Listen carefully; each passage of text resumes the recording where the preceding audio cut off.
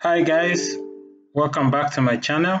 In today's video, we'll be looking at how to configure static IP address as well as a DNS on a Parrot OS device. So this is a, a brand new install and if you're looking to set up a static IP, we can use we can use the GUI to do that. The first thing we can do is check the what IP we have. So in the terminal, you can use IP address command so we see that we have the IP of 172.16.1.107 slash 24. So now that we know the IP address, let's go ahead and see if we can actually configure a new one and uh, it's going to be a static IP. So we'll go to system right here, go to preferences, then go to internet and network, then advanced network configuration. In this uh, network con uh, connections window, we'll go to wired connection 1 then we'll click on the settings for it. This icon here to edit. Then we go to IPv4 settings. Now you can change this if you're looking to use by default it uses DHCP if you're looking to use um, static you have to select manual. And then here's where you can add a new one if you don't already have one or you can edit whichever one that you have. So let's say for instance, we didn't have this one. So I'll, I'll delete this one. I'll add a new one. I'll put 172.16.1.108.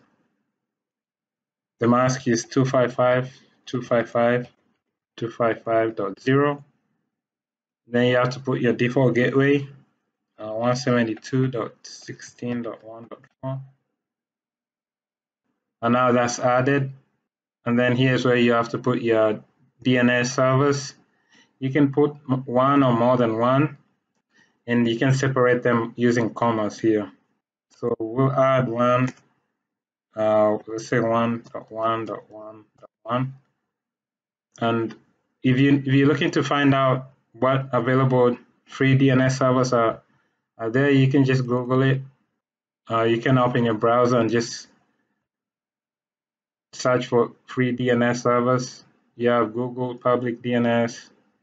You have Cloudflare .1.1. You have Quad9. So most popular one is uh, Google ones. So I'm, I'm using the 8.8.8 for Google and also the 1.1.1 for Cloudflare.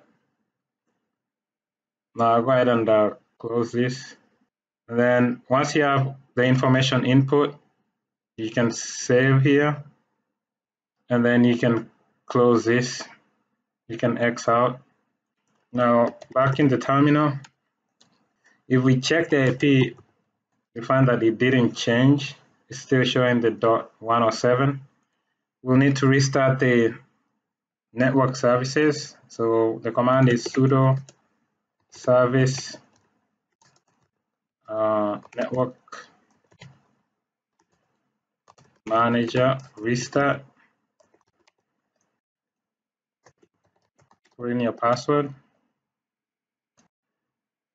And then it says connection established. So now we'll check the uh, IP address again using the IP address command. And now we, we, we see that we have, we have two IPs we have uh, 172.16.1.107 and uh, .108 so this is showing us the global secondary, and that's not what we want. What we'll do is we'll do a reboot to see if that fixes the issue. We only need one static IP. So we'll do a reboot. Okay, you're back at the login window. We just put in our password. We'll open the terminal again. We'll do IP address. And this time we only have the 172.16.1.108. So the 107 has been removed. So you, you need to do a reboot in order for it to take the new uh, static IP address.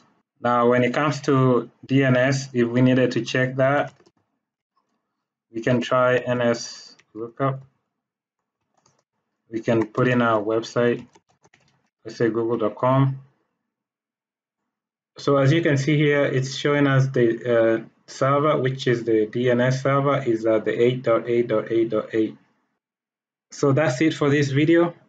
That's how we actually change the IP address to a static IP on a Parrot OS. And that's how we also change the our DNS server.